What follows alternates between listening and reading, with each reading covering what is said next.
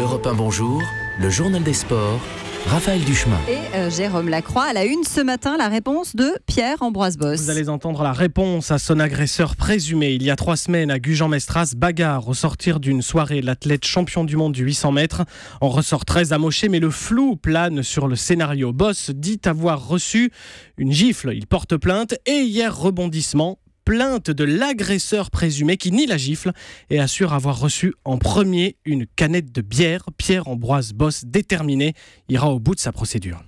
C'est ridicule, c'est tout. Euh. La procédure est en cours et moi je fais confiance à la justice euh, et on se remet de tout hein, de toute façon. Hein. Le, cerveau est fort. Je suis dans l'avenir, c'est terminé. J'ai tourné la page sur cette agression. Maintenant je suis dans d'autres choses et je vais repartir sur mon entraînement comme je sais le faire. En fait, rien n'a changé de mon côté et maintenant je me focalise sur des choses un peu plus importantes, je pense. Euh, faut pas déconner sur tout et j'en ai pris conscience avec cette agression, c'est clair. Pierre-Ambroise Boss au micro européen d'Émilie Bono et dans ce dossier, l'agresseur présumé hein, est mis en examen, placé sous contrôle judiciaire. Le mot sport du jour. Série, fin de série pour les footballeurs du Real Madrid, ceux entraînés par Zidane. 73 hein. matchs sans discontinuer qu'ils étaient toujours parvenus à marquer au moins un but.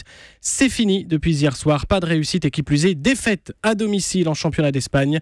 1-0 face au Betis Séville malgré le retour de suspension de Ronaldo. L'histoire du jour Les ouragans dans les Antilles ont aussi balayé les infrastructures sportives. Ainsi, la région Île-de-France s'est engagée à soutenir la venue en métropole d'athlètes privés de leur piste d'entraînement. Ce pour quatre stages de préparation en 2018 afin de leur permettre de participer au prochain championnat de France. Très beau geste, dit ce matin Julien Guélan, il est président de la Ligue d'athlétisme des Antilles. Les Antilles, quand même, ils ont beaucoup donné à la France.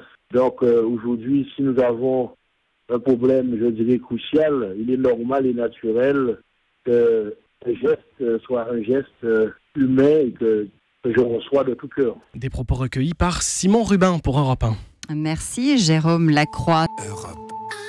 Europe 1.